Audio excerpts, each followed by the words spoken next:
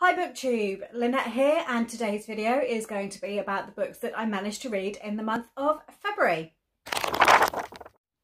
Apologies if I sound a little bit nasally or uh, not 100%. I'm battling a cold at the moment um, and yeah, so it's, it's all in my nose and yeah, just not feeling 100% great at the moment.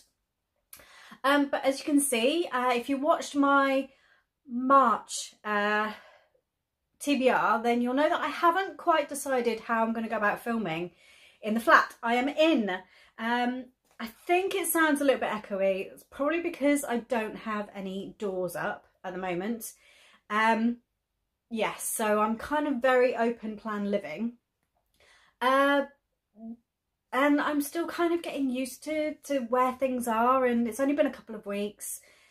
Um, so I'm not quite set on the, the uh, where I'm going to be filming.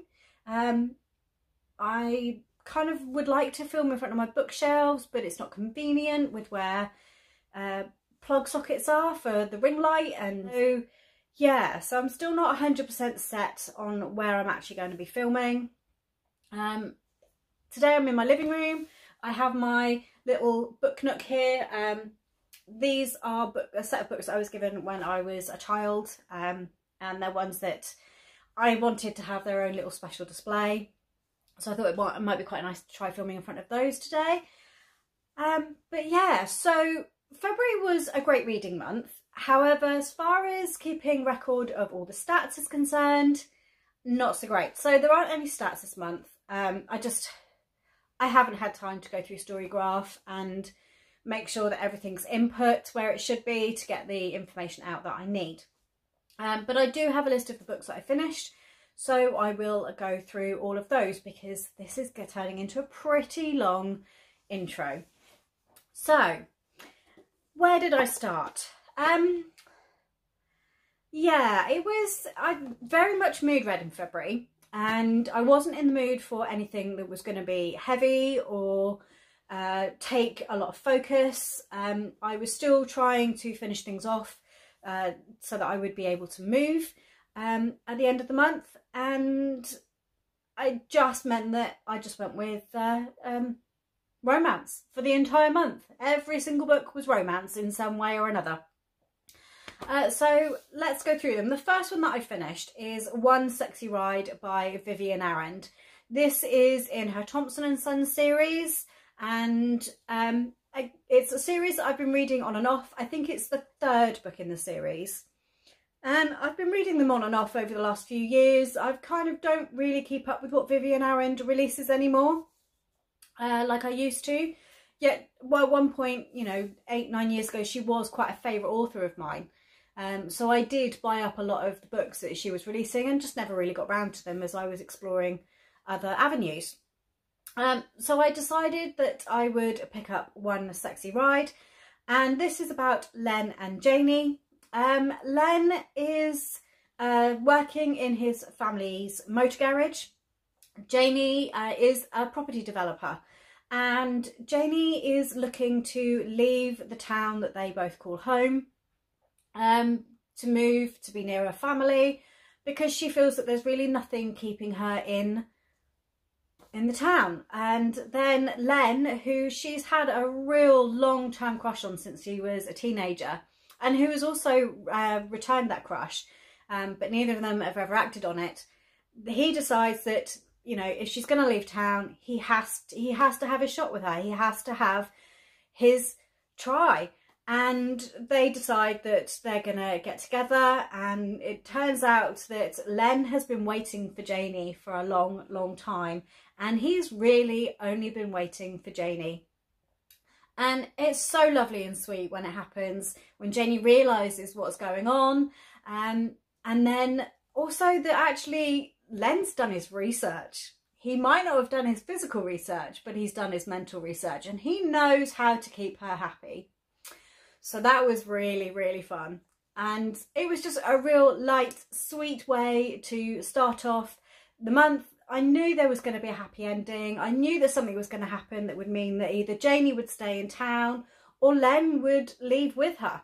Um, but it was just a great way to start the month and I really thoroughly enjoyed it and I'm looking forward to picking up because I do have the whole series and I'm looking up looking forward to finishing it all at some point um, hopefully it will fall within um, some of the prompts that I'm, I'm following for Tackle My TBR this year. My second finish of the month is one of my most anticipated books of this year, and that is Meet Me at the Wedding by Georgia Toffolo. This is the fourth and final book in her Meet Me series uh, that she first released. I think the first book came out very late uh, 2020. And I've been really, really anticipating it. This is Henry and Lily's story. Uh, Lily is the fourth of the four girls that were badly affected by a car accident in their teen. Henry was also involved in the car accident, but in the car that hit them and caused all the damage that has affected all their lives. Lily is the fixer of the four friends and she is trying to organise uh, the wedding of Victoria, who was the um, girl that we met in the very first book. A series of things are going wrong. First of all, Henry's father has passed away and the wedding was supposed to be hosted in Henry's um, ancestral home, which is a stately home near the village where they live. And he's come back and he doesn't want anything to do with the stately home. He had a bad falling out with his father after the accident and he moved away and had nothing to do with it and had forgotten the beauty of the home where he grew up. And Lily um, is angry, quite rightly angry with Henry because he's made this decision, which means that the wedding potentially is off. Only in the two of them talking, Henry starts to see the beauty of his home again. He starts to fall in love with it again. And he starts to see his childhood through different eyes, uh, through a different lens. And also going the other way, he helps Lily to realise that actually not everything is on her to fix. She can let things fail if they need to. And I just absolutely adored it. Like I say, it's one of my most anticipated reads of this year. This was actually an early copy that I received through NetGalley. The book doesn't actually release until the end of April. Um, so at the moment I can only show you um, an e cover um, rather than the, the actual book. But I do have the physical book on pre-order from Waterstones so that I will have it to complete the set on my shelves. And I'm really looking forward to being able to uh, reread the whole set of four from start to finish, uh, one after the other, to, to pick up on all the little bits and pieces that we learn about all the girls um, and all the guys that they fall in love with as we go along. So I thoroughly recommend it. They're so easy to read. Uh, she has co-written them or ghost-written them with other authors and it was a different author per book. You can see that in the writing. Um, but for me, it didn't actually make it any worse or any better of a read for that. I just thoroughly enjoyed each one. And to be honest, I would actually go hunting for the authors, co-authors, to find their own works um, or anything else they've written because I'd love to see what else they've put their names to. The third book that I finished was because of all the things I had on my TBR. I either couldn't start it because it was going to be for a specific readathon or it was too much, too busy, too full of information. It wasn't something that I would want to um, be continuing and it would then overrun into the specific readathon. So I downloaded a new book. I didn't pay for it. It was a freebie. Um, so technically I haven't bought a book. Uh, but yes, I did download a book when I shouldn't have. Really, I should have found something else. Um, but that book was Once Upon a Time Flicker. This is the first book in a series of novels about a princess and her bodyguard. And the princess has been married off to the Prince of Monaco, um, who wants her because she comes from a royal lineage that is, uh, and I can't think of the actual term that they used, um, but basically she need he needs her royal status. He's not a good man, and uh, she is actually in love with a bodyguard who protects her brother and has been since she was a teenager. And they had a brief affair when she was in her early 20s, but something happened and he finished the affair and then he went off and got married straight away um, to someone else because he'd gotten this someone else pregnant. But the two situations didn't overlap. This wasn't the best book that I've read in the princess bodyguard trope. Um, it felt too drawn out. There was there was too much really going on. There was too much pause in between things happening. Um, it left things a little bit open-ended. So there is a follow-on book which takes over the story uh, from where it ended. And I don't think I'll be continuing. Um, it's... It, was okay. It wasn't great. I read better. I've read worse. Uh, I, I just wouldn't recommend it, I don't think. So it's not one that I would pick up ever again. Uh, so I'm glad that it's on my Kindle and not on my shelves um, because it would probably promptly be given away again. And then after that, it was Shiftathon week. Um, and if you saw my February TBR, then you know that I had five books that I wanted to read. There were five prompts. I will uh, link that video either in the cards above or in um, the comments box down below so that you can go and check that out. Uh, but there were five prompts. Basically, the aim was to read books that feature shifters and the paranormal and all of that kind of malarkey. So I went with five romance novels that I had um, and they're all listed. I didn't get through all five. I only managed to finish three of them. Uh, but I was really happy with the three that I did finish because it did mean that I knocked books, again, knocked books off of my existing TBR. Um, so I was really happy with that outcome. Um, one book was a brand new release though, and that book released the day before Shiftathon started. And again, it was one of my most anticipated releases for this year, and that is Fury of Isolation by Corinne Callahan. Now, I think I said in the TBR video that this was set around the Seattle pack of uh, Dragon Shifters. It's not. It's actually set around the Scottish pack. Only uh, the dragon shifter in this book, his fated mate is the sister um, of one of his pack mates' fated mates. And she actually lives in America. They've, unknown to everybody in the, their lives, they've been talking on the phone every day, um, getting to know each other, falling in love with each other through the phone. And they haven't actually met he has an idea that uh, she is his fated mate, um, particularly because of how strongly he reacts and the way that he can't actually stay away from her. And she phones him when some guys turn up at the garage where she's working and she's in danger. She knows she's in danger. She has an inkling. Um, and she phones him just so no, someone knows that something's happened to her so that someone comes looking for her. He flies all the way to America uh, from Scotland to save her because he loves her and he doesn't want her to be in danger. And it was just so fantastic.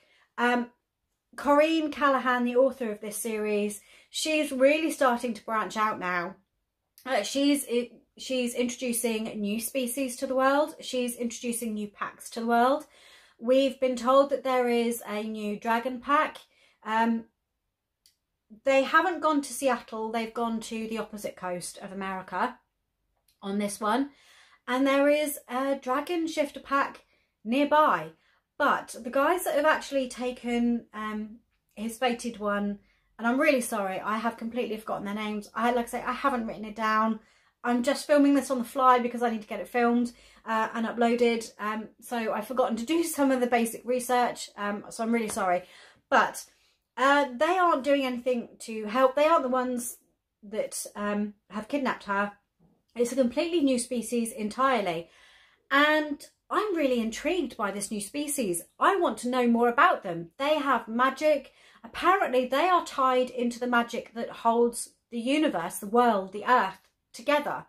Um, and they are responsible for maintaining it and making sure that it's at the right levels. Part of that is dragon shifters being with their fated mates.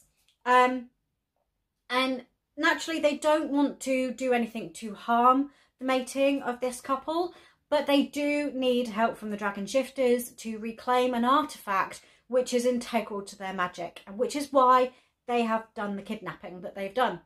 Um, so, and it goes from there. Um, she is left captive. She's not allowed to go off with her mate, but they've seen each other. They've they know that they're in love with each other. Um, and it is all about the two of them staying safe until they can be back together again.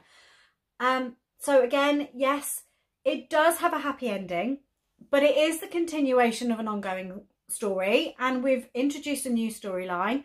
So I'm guessing that at some point Corinne is going to be writing from different species perspective and maybe there's going to be another series on the cards somewhere along the line. So I'm really, really looking forward to that as well.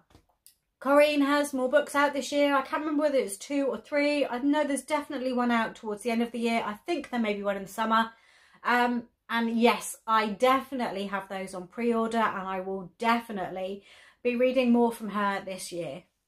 The second book that I finished for Shiftathon was A Court of Frost and Starlight by Sarah J Maas.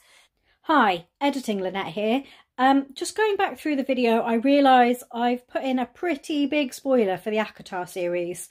What I've done um, is I have put up in the bottom corner of the screen, it flashes up series spoiler and it stays there until I've finished talking through that section. Um, but for people who've read the ACOTAR series, obviously it won't cause an issue. But if you haven't read it, you probably want to skip that part of the video and move on to the rest of it. This was the continuation or wrapping up really of Feyre and Rhysand's story and also giving us a little bit of an intro to Cassian and Nesta's story, which is the next book in the series. And I really enjoyed it actually. This was the epilogue that we should get. Um, happy ever afters happen. You know, people walk away from situations and everything's fine and dandy, but sometimes there is trauma that needs to be worked through. And that's what I loved about this book. There was a lot of trauma in the whole of the A Court of Thorns and Roses series, especially for Feyre. Um, a lot happened uh, to her and because of her, and she has a lot of mental stress and trauma that she needs to work through. And this book shows her starting, acknowledging that she has this, um, and also that the others around her have these issues as well. And it, it's all of them basically starting on the path to healing and them finding all the different ways that they need to heal and learning to heal. Um, and I really appreciated that. It's also, we also got to see Rhysand and Feyre together, which is just always, always delightful. I really, really loved uh, them as a couple. I was so glad that actually uh, Rhysand turned out to be the uh, the Beast in the Beauty and the Beast. The second book is supposed to be Hades and Persephone. Um, for me, I felt Rhysand embodied the beast part of the Beauty and the Beast retelling far better than Tamlin ever did. Um, I think it was just the description of Tamlin for me that made him the beast. Uh, so yes, but also, again, talking about Tamlin, he does feature in this book.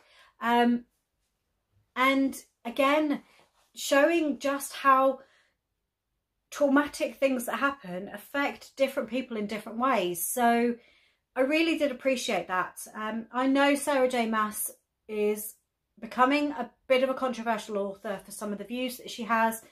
I can understand that. Um, so I'm not going to big her up too much. Uh, I just, I can appreciate her writing in these books. Um, and yes, they, they are ones I would continue because I, I, I do, Nesta has a long way to go. Um, and yeah, I'd like to read the next book in the series. I'd like to read Nesta and Cassian's story. Not only because I want them to be together, but because I want to continue with Nesta's journey uh, to recovery as well. The third and final book that I finished for the Shiftathon readathon was Ares by Felicity Heaton. This is the first book in her Guardians of Hades series and it's based around the sons and children, I think there may be a daughter as well, of Hades and Persephone, and then finding their true loves. Uh, the sons of Hades, um, one of which is Ares, uh, who is named after the Greek god, um, they have been charged with protecting the gates to the underworld um, from demons who have been banished by Hades. And surrounding this, um, they come into contact with different people. Um, Ares comes across a woman who is in some trouble. Now, she's not a demon, but she has demon in her bloodline somewhere along the line. Um, and as a result, she uh, has some powers of her own. Uh, Ares takes her, not, I suppose in some way it would be classed as hostage, so it would be classed as uh, Stockholm Syndrome. Um, but they are intrigued by each other before that. Ares says that he's keeping her with him to keep her safe because she is in danger. There is a demon who's trying to steal her power uh, because it will help him in his attempt to go through the gates to the underworld. Um, and it's all about that. The I had an issue with this. It's not the best book by Felicity Heaton that I've ever read. Um, again, like Vivian Arend, she was one of my OG Felic- uh, romance authors that I really adored eight, nine years ago and uh, continually read whatever they were putting out. Um, only this one for me, I think there was a little bit too much. She was in danger, he saved her, he told her to stay safe, uh, she put herself back in danger, he told her to stay safe, she put herself back in danger, then he was in danger and she wanted to help. And it just there was just a the it just happened too many times and it took too long to get to the end of the story where they realise that actually they're supposed to be together and she's going to live with him and uh, yes. There is this continuing story. Um there are six brothers i think and maybe one sister um, I do have the next two books in the series, so at some point I will give them a go and see whether the series gets better. Um, but at the moment, I'm not invested enough to continue it straight away, which is a shame because with Felicity Heaton, I would binge read her stories. Um, but it has got to the point now where maybe I don't actually binge, binge read them as much as I used to. The next book that I finished was a short story and again this was a new purchase but it was a surprise release from one of my all-time favourite romance authors Samantha Towle and that is a book called Axed. This was originally uh, included in a short story collection which was only up for sale for a short time. I didn't buy the short story collection because this was the only book in there that I probably would have read and I I have a few short story collections on my Kindle just like that and I don't need any more. So when she said she'd released it uh, to the general population as um, a novella in its own right, I had to pick it up. And this book was Axed. This is about a young man, Axel, who was imprisoned for a crime, a murder he did not commit. However, all the evidence pointed his way. Um, he is out on um, probation and the friends that he was with um, when he was at school, when the murder happened, all suddenly start dying just as he's come back to town. And it's looking like he is the culprit for these deaths. And the female probation officer um, is a woman girl he, who was part of that group and he'd long, long time had a crush on her, but he was the geeky, nerdy one that nobody ever really took a notice of, but obviously being in prison, he's bugged out, he's grown into his looks, and she remembers him fondly, and she doesn't believe that he committed the original murder in the first place. But it turns out that yes, he was framed for that murder and he's being framed for these as well. It was very quick. It was only about 50 pages. Obviously, it's a romance and it's a happy ever after. Um, and I was glad they got together. It wrapped up very quickly. It filled about an hour. Um, I think at the point that I read this, um, I'd actually come over to the flat. I was really upping the packing process. Um, I had about 10 days before I was due to move. I don't think I even had 10 days. um, and I'd, I'd come over because I'm in another town from where I was living. I'd come over because I had to come to the shops here to get some packing boxes so that I could continue packing. And yes, and the weather was awful. Uh, and my reading chair had been delivered, which is the chair I was sat in when I filmed my March TBR. Um, so I sat there for an hour with a coffee and read it. Um, and I thoroughly enjoyed it. I always love whatever Samantha Towle writes. It doesn't matter. Um, I just love everything she puts out there and she is uh, a go-to author for me and she is an auto-buy author. She is an author that even though I'm not allowed to buy books, I will find the pennies to buy them because I know she's never going to let me down.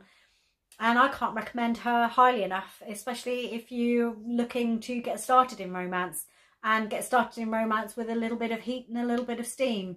She definitely delivers on that. Let's just say from one of her books, I will never look at gin bottles the same way ever again. And the final book that I finished in February was the second of my most anticipated releases for the month. And that book was How Good It Was by Scarlett Cole. I have been loving this author. I have been loving this series. Um, and I'm looking forward to having spare money again at some point in the future to be able to afford to invest in more of her series because I'm just adoring everything about these at the moment. This is a book around uh, a band called The Sad Fridays. The series is called Excess All Areas. This book is about Luke, who is the drummer. Now, in the previous two books, Luke is spiraling out of control. He is taking the road into drug, alcohol, sex addictions, all three. Um, and this book is the one that pulls him out of it, that shows him there's a different path to go down. And I mean, in some ways, the the turnaround from the path that he was on is far too quick. Um, wasn't was far too easy in some ways However, what she does tackle with Luke is that actually the underlying causes of those addictions are mental health um, and that Luke is struggling and Luke has been struggling for a long time. Luke has a lot of things in his past that he needs to reconcile and he needs professional help. Willow is the blogger um, who got the Sad Fridays noticed and basically got their music out there, got them spotted by a record company and got them the deal that uh, they're now living. Um, only she and Luke had a one night stand while Luke and the rest of the Sad Fridays were in Detroit um, recording their album. Uh, and yeah, Willow turns up on Luke's doorstep because she's pregnant and Luke is very definitely the father. Um, I made that sound like it's something out of a Star Wars film, uh, but I like Star Wars. Um, so yeah, so it's this that triggers Luke to examine his life and the way things are going. And what I really like about these books um, is that Scarlett is encouraging the men in her books to talk to each other. Uh, Luke has some issues that come to the fore when he's talking to his bandmates um, and his best friends and it's all related to Willow turning up in his life and how he feels about it and how he feels about the situation because Willow's asked him to um, stay with her for a year. She, she, like I say, she's a blogger and she's a lifestyle blogger and she has a wholesome um, persona which needs to be protected if she's to keep her business as it is. And he has some issues with that. Um, and it triggers some other mental health issues for him as well.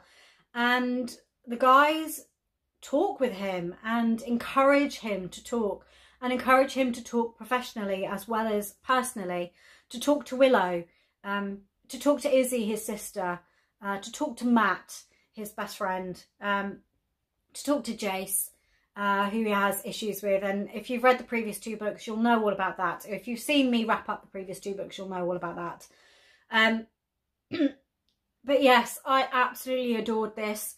Uh, I think Alex's story is next, and that's coming out a bit later on this year.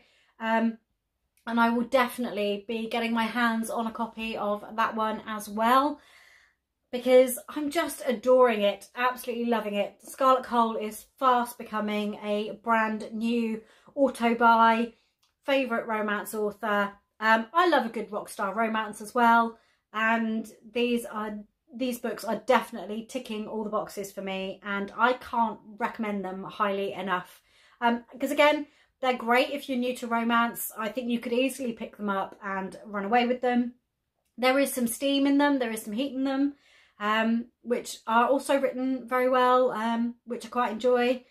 So yeah, it was a great finish to my reading month.